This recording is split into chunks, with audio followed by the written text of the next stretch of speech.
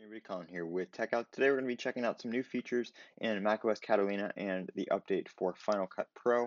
Um, not really a Catalina feature, but if you update your Final Cut Pro, this is version 10.4.7, you now have the ability to select a GPU. Um, so if you're using a computer with an integrated GPU, or uh, I'm sorry, a dedicated GPU, um, you can now switch to have Final Cut Pro use that.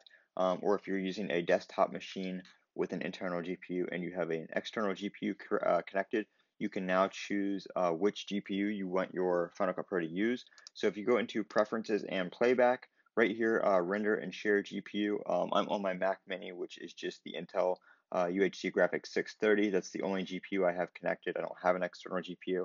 If I did, though, I would be able to select this drop down right here and choose that.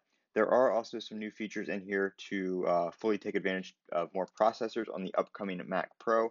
So uh, a lot of new features in Final Cut Pro um, to take advantage of the new machines and Catalina and all the eGPU features. So definitely update. Uh, Final Cut Pro is running a lot faster, renders are a lot smoother, and stuff like that on the uh, Catalina machines. This has been Colin with Tech Out. Don't forget to comment, rate, and subscribe. And as always, have